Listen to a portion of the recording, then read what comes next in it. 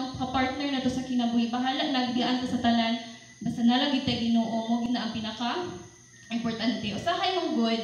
Kay mo fight ta nga kanang i-depend na to sa tong kaugalingon nga Lord sa akong relationship sa kapartner nimo sa kinabuhi. Ah basta kay okay ni duha.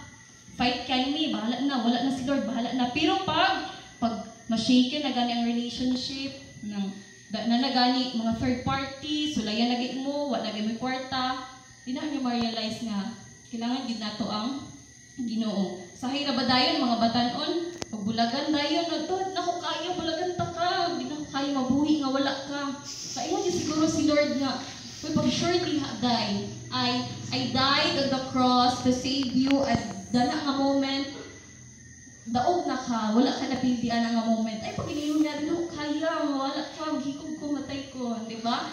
So, dagat yung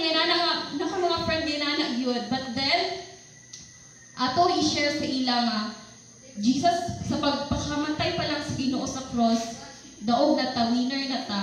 O, dili ta maingon nga alone ta, because God is fighting for us. Agi na fight kita niya hantod karon. Muna hindi ta mag-depend sa tao makigsunan. We need God as our partner sa kinabuhi.